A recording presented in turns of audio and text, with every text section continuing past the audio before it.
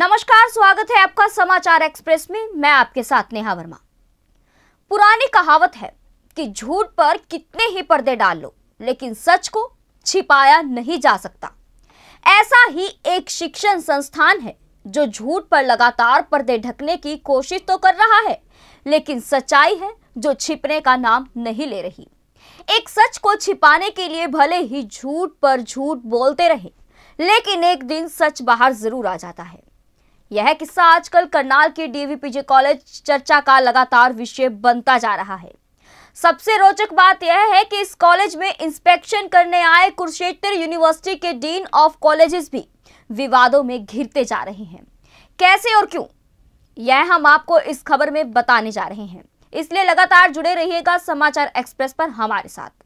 और इसे लगातार शेयर करना ना भूलें, क्योंकि जिस शिक्षण संस्थान में सच्चाई का पाठ पढ़ाया जाता हो, यदि उसी शिक्षण संस्थान में मौजूद रहने वाले प्रिंसिपल झूठ बोलकर या फिर सरकार से फ्रॉड करके कोई भी कार्य करते हो तो आप सोच सकते हैं कि उस शिक्षण संस्थान में छात्र क्या सीखते होंगे। क्योंकि करनाल का डीएवीपीजे कॉलेज, जो नगर निगम के कार्यालय के निकट पड़ता है, आजकल चर्चा का विषय बना हुआ है। हमने आपको पहले दिखाया था और बताया भी था कि कैसे डीएवी पीजी कॉलेज शिक्षण संस्थान ने झूठ का सहारा लेकर छात्राओं के लिए, छात्रावास के लिए 50 लाख से भी ऊपर की सरकारी ग्रांट ले ली और फिर छात्रावास को ही अचानक गायब कर दिया। आपको फिर से बता देते हैं कि माजरा था क्या। हमने कुछ दिन पहले डीएवी पीजी कॉलेज को लेकर एक खबर आपको दिखाई थी। जिसमें हमने आपको बताया था कि किस तरह इस कॉलेज में गर्ल्स हॉस्टल की बजाय वहाँ पर कॉमर्स एंड मैनेजमेंट ब्लॉक चल रहा है। इस खबर से हम भी हैरान रह गए, क्योंकि समाचार एक्सप्रेस की टीम बीती उनतीस जनवरी को इसी कॉलेज में एक स्टोरी को कवर करने के लिए गई थी। हमने इसे कॉमर्स एंड मैनेजमेंट ब्लॉक का भी दौरा किया था। जिसमें कॉलेज के प्रिंसिपल डॉक्टर रामपाल सैनी ने समाचार एक्सप्रेस के सामने यह खुलासा किया था कि फ़िलहाल इस ब्लॉक का यूज़ किया जा रहा है। यहाँ कल्चर प्रोग्राम भी होते हैं। उन्होंने यह भी कहा था कि निकट भविष्य में इसे गर्ल्स हॉस्टल बनाया जाएगा। यहाँ कॉलेज के प्रिंसिपल डॉक्टर रामपाल सैनी अचानक घबरा से गए और हम पर अचानक बिगड़ गए। उन्होंने साफ़ साफ़ कहा था कि आने वाले दिनों में यहाँ गर्ल्स हॉस्टल बनाया जा सकता है। लेकिन कॉलेज के प्रिंसिपल डॉक्टर रामपाल सैनी का सफ़ेद झूठ पकड़ा गया। हमने आपको खबर में दिखाया था कि किस तरह से यूजीसी से लाखों रुपए की ग्रांट गर्ल्स हॉस्टल के निर्माण को लेकर ली गई। गर्ल्स हॉस्टल का निर्माण भी हो गया। इंस्पेक्शन करने वाली टीम भी कॉलेज में पहुँची। इंस्पेक्शन टीम को गर्ल्स हॉस्टल दिखाया गया। डीएवीपीसी कॉलेज करनाल के इस गर्ल्स हॉस्टल में इंस्पेक्शन टीम को हॉस्टल से संबंधित सारा सामान तक दिखाया गया। इसके लिए बकायदा कुरुक्षेत्र यूनिवर्सिटी के डीन ऑफ़ कॉलेजेस ने बकायदा इस गर्ल्स हॉस्टल की वीडियोग्राफी तक करवाई थी। लेकिन अब बड़ी खबर ये आ रही है कि जिस डीएवीपीजी कॉलेज में लाखों रुपए की सरकारी ग्रांट लेके कॉलेज में छात्रावास की बिल्डिंग का निर्माण करवाया गया उसका कोई नक्शा नगर निगम के कार्यालय में मौजूद ही नहीं है, जबकि ऐसा होना ज़रूरी था। सरकारी ग्रांट से बनने वाले निर्माण के लिए बिल्डिंग का नक्शा निगम के कार्यालय में दाखिल करना बेहद ही ज़रूरी होता है। हम इस नक्शे को लेकर बकायदा प्रशासनिक अधिकारियों से बातचीत करेंगे कि क्या ऐसा संभव है कि बिना नक्शे के बिल्डिंग बनाई जाए। हमने इस मामले में करनाल के डीसी जिनके पास नगर निगम का भी जिम्मा है। उनसे संपर्क करने का प्रयास किया था, लेकिन उनसे संपर्क नहीं हो पाया था। इसलिए हम आगे उनसे संपर्क करके इसका जवाब ज़रूर मांगेंगे।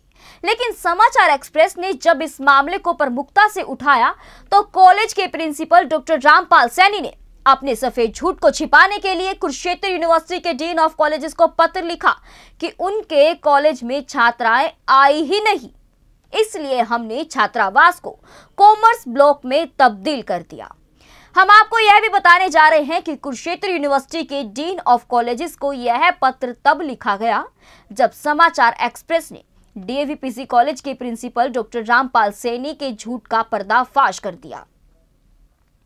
आपको भी पता लगना चाहिए कि सच कौन बोल रहा है और झूठ कौन।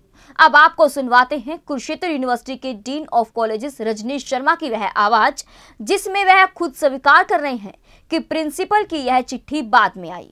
जब हमने उनसे यह पूछा कि यह घाल मेल नहीं तो और क्या है तो उन्होंने भी इसे बकायदा स्वीकार किया।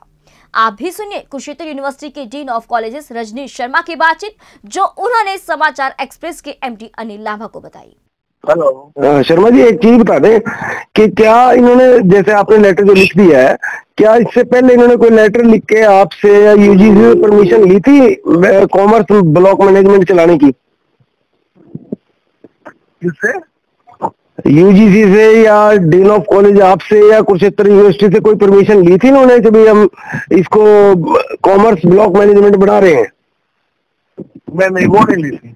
ठीक है ठीक है वो वो- इन्होंने वो बाद में चिट्ठी लिखी है। अब तो चिट्ठी आई है इनकी। नहीं वही बात है शर्मा जी आफ्टर बाद में खबर चलने के बाद लिखी ना चिट्ठी उससे पहले तो गाड़ में चल ही रहा था ना अंदर।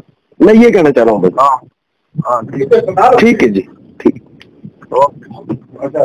आपने सुन लिया कि कुरुक्षेत्र यूनिवर्सिटी के dean of colleges Rajnish Sharma ने साफ़ साफ़ कहा है कि चिट्ठी बाद में आई है। पिछली खबर में हमने खुलासा किया था कि कुरुक्षेत्र यूनिवर्सिटी के डीन ऑफ़ कॉलेजेस ने कहा था कि वह कॉलेज को इस बाबत पत्र लिखेंगे। तो कुरुक्षेत्र यूनिवर्सिटी के dean of colleges Rajnish Sharma ने हमें साफ़ कर दिया है कि उन्होंने कॉलेज से स्पष्टीकरण मांग लिया है। सवाल कुरुक्षेत्र यूनिवर्सिटी के डीन ऑफ़ कॉलेजेस पर भी उठ रहे हैं, क्योंकि डीएवी पीजे कॉलेज में बनाए गए छात्रावास की बिल्डिंग में बने छात्रावास की इंस्पेक्शन करीब सात महीने पहले हुई थी। उसके बाद कॉलेज को एनओसी दी गई। लेकिन कुरुक्षेत्र यूनिवर्सिटी के डीन ऑफ़ कॉलेजेस को बाद में पता लगाना चाहिए था कि वहाँ छात्रावास चल भी रहा है या नहीं। कुरुक्षेत्र यूनिवर्सिटी के डीन ऑफ़ कॉलेजेस ने तो इसका पता नहीं लगाया। लेकिन समाचार एक्सप्रेस की टीम स्टोरी कवर करने के लिए जब डीएवीपीजी कॉलेज करनाल पहुँची तो अचानक छिपा हुआ सच बाहर आ गया।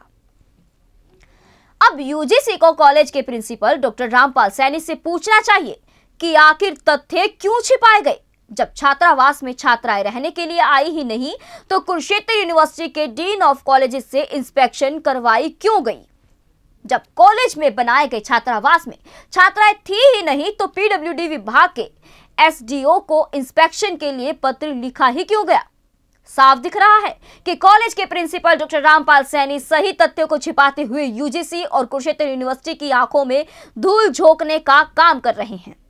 क्योंकि छात्रावास के नाम पर 50 लाख से ऊपर की कॉलेज ने यूजीसी से ग्रांट तो ले ली, लेकिन छात्रावास का कंप्लीशन सर्टिफिकेट हासिल करने के लिए डीएवीपीजी कॉलेज के प्रिंसिपल डॉक्टर रामपाल सैनी ने फ्रॉड का जाल बुन दिया अब ज़रूरत इस बात की है कि यूजीसी इस मामले में अब स्वयं जाँच करे।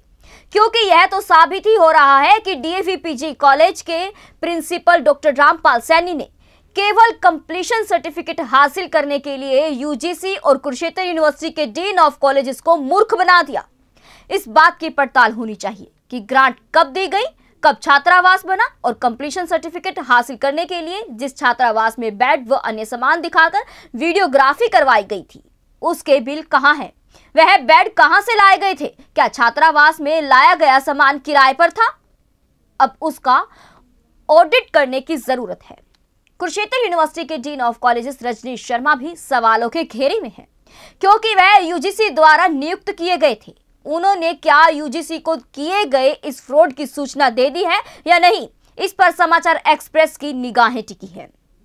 नवंबर 2017 तथा इसी साल जनवरी और फरवरी में डीएवीपीजी कॉलेज करनाल में शिक्षकों की भर्ती भी हुई थी। आखिर उसमें भी क्या धांधली की गई? इसका जल्द ही खुलासा समाचार एक्सप्रेस करेगा। आप देखते रहिए लगातार समाचार एक्सप्रेस को, क्योंकि हम छिपाते नहीं, दिखाते हैं। तो बने रहिएगा हमारे साथ समाचार एक्सप्रेस पर। ऐसे ही लेटेस्ट खबरें पाने के लिए समाचार एक्सप्रेस को लाइक और सब्सक्राइब ज़रूर करें। इस खबर को अधिक से अधिक शेयर ज़रूर करें। JBD Banquets लाए हैं incredible marriage palace Rajgharana and the finest banquet hall Jyoti Garden. World class catering, centrally air conditioned, lush green lawns, state of the art lighting. A perfect venue for wedding, launching and parties. Rajgharana and Jyoti Garden at JBD Banquets Enterprise. ऐसे ही latest खबरें पाने के लिए bell icon को click कर हमारे channel को like share and subscribe करें धन्यवाद।